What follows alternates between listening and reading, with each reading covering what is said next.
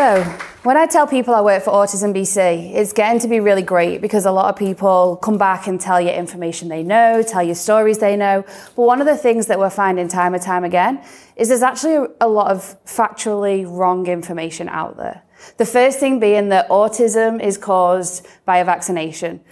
Total myth, totally not true.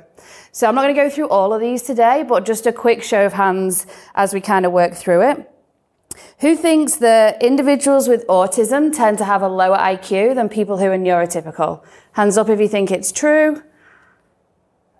Okay, so yeah, another total myth. Not true at all. Autism is a spectrum disorder.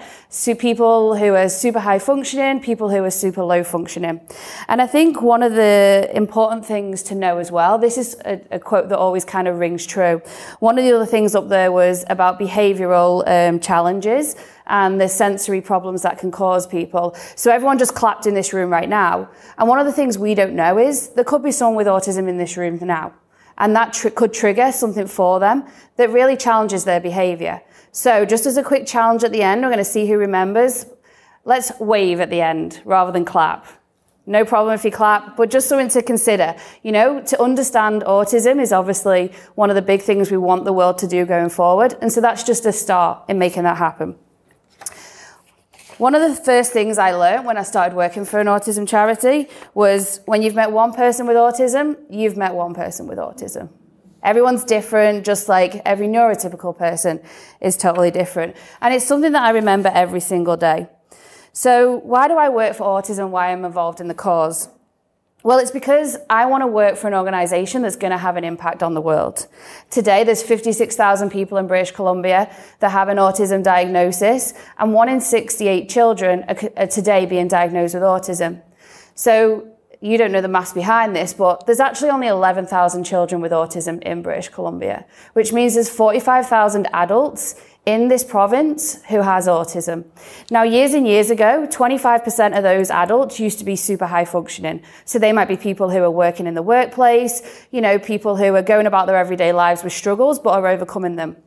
As treatments and as therapies have got better, as early diagnosis and as autism awareness has got better, that shift has changed. So today there's actually 75% of people who are high functioning autistic adults.